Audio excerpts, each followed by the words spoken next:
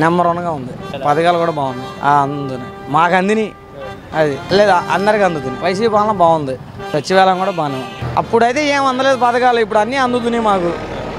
వాళ్ళ మీద భారం అనేది అనవసరం మాట అండి అవి ఇప్పుడు ఏంటంటే పైనుంచి అవి రేట్లు అనేది పైన ఉంటాయి. అవి అది పైనుంచి కేంద్రం నుంచే కదా రేట్లు. జగన్ గారి పాలన మాత్రం నెంబర్ వన్. అదేం లేదు. అలాంటిది. భారీ రేట్లో ఉంది. ఇప్పుడు ఏదైనా రేట్లు పెరిగింది బస్ ఛార్జీలు అంటే ఏమైనా అవి మామూలు అవి ఏ గవర్నమెంట్ ఉన్నా పెరగాల్సిందే టీడీపీ ఏమి తగ్గించరు. ఎలా తగ్గిస్తారు? టీడీపీ రాదులేండి మళ్ళీ మేమైతే పక్క టీడీపీ. నేను చేసేది జగన్ గారికి అవకాశం అనేది లేదు. రెండు పార్టీలు మూడు పార్టీలు కలిసినా ఏమవుదు జగన్ గారికి.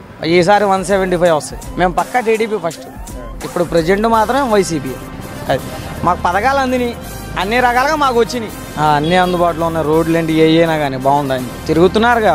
గడప గడపకు వస్తున్నారు. కనుక్కుంటున్నారు అంతా వాలంటీర్ కూడా వస్తున్నారు. ఇప్పుడైతే ఇంకా బాగుంది. ఇంతకు ముందు బాగుంది ఇప్పుడు ఇంకా బాగుంది. అసలు టీడీపీ అనేది ఉండదండి. టీడీపీ రాదు.